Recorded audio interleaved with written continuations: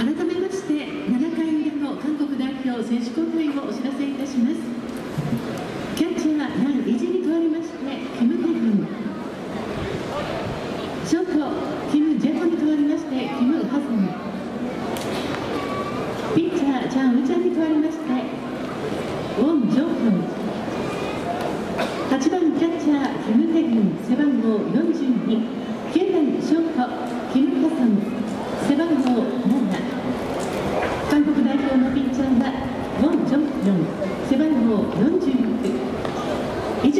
때문에